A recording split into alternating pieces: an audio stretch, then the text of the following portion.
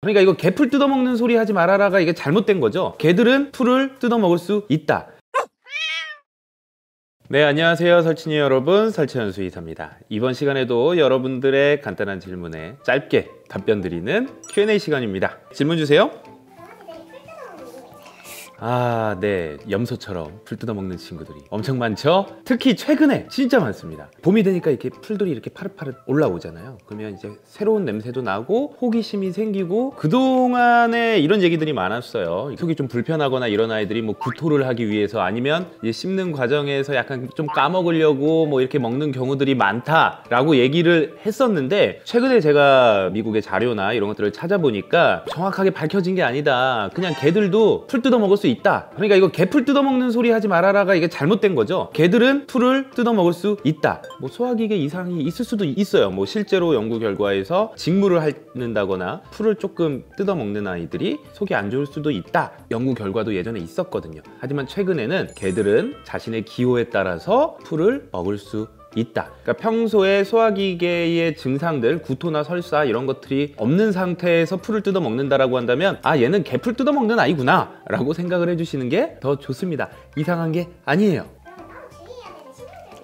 아, 이게 은근히 좀 있는데 제가 정리를 해봤거든요. 우선 최근에 가장 흔하게 볼 수 있는 게 뭘까요? 철쭉. 딱 지금 폈어요. 우선 높이 자체가 낮아요. 바닥에 좀 깔려 있는 경우들이 있고요. 그래서 아이들이 좀 관심을 보일 수가 있습니다. 근데 문제는 뭐냐면 먹는다면 식중독과 유사한 증상을 보일 수도 있어요. 뭐 심할 경우에 실명, 발작, 사망에까지 이를 수 있다라고 하는데 이건 약간 그 위기 탈출 넘버원 같은 느낌이고요. 그럴 일은 거의 없을 거라고 봐요. 막 거기 있는 철쭉을 미친 듯이 뜯어먹지 않는 이상. 그리고 유채꽃은 우리 제주도에서 좀 조심해야겠죠? 유채꽃 같은 경우에는 알러지 일으킬 수 있고요. 잎과 씨를 먹 먹었을 때는 소화기 증상을 일으킬 수 있으니까 주의해달라고 얘기를 하고 있습니다. 그 다음에 튤립 사실 고양이가 식물에 더 민감해요. 더 조심해야 돼요. 강아지보다는. 특히 고양이들한테 백합과 식물들이 되게 위험한데 튤립도 백합과예요. 강아지한테도 영향을 줄 수 있습니다. 튤립도 구토설사와 같은 소화기 문제나 호흡 문제를 일으킬 수 있고 입 주변에 뭐 자극돼서 좀 이렇게 알러지 반응 일으킬 수 있고요. 이게 있었네. 이건 나도 몰랐는데 카네이션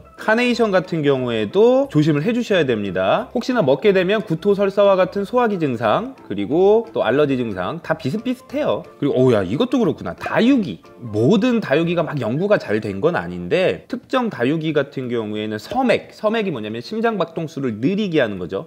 그리고 좀 침울해지고 이런 증상이 나타날 수도 있으니까 다육이 다 위에 올려놓으세요. 솔직히 너무 걱정은 안 해도 될 것 같아요. 저는 우리 보호자님들한테 너무 큰 걱정을 끼쳐드리고 싶지는 않거든요. 강아지들한테는 식물 자체가 과하게 많이 먹거나 그러면 문제가 될 수 있겠지만 근데 산책하다가 얘 먹지도 않고 그냥 냄새만 킁킁 맡고 있는데 이리 와! 이런 거 하실 필요는 없다. 이게 더 중요해요. 그렇진 않죠. 저도 처음 들어보는 아이들인데 아레카 야자, 바질, 타임, 레몬밤, 하월시아 등은 그나마 안전하다라고 합니다. 하지만 이런 걸 그러니까 모든 것들을 이제 먹고 나서 구토설사 일으킬 수 있으니까 먹지는 않게 해줘라. 이게 포인트입니다.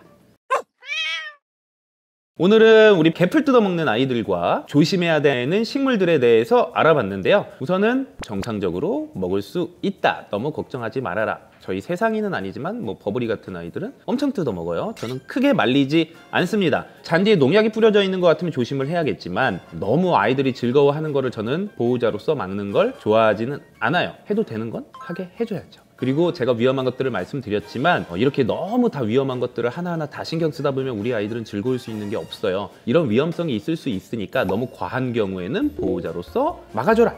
오늘의 정리입니다. 다음 시간에도 여러분들의 질문에 소중한 답변으로 찾아오도록 하겠습니다. 또 놀러 오세요. 안녕.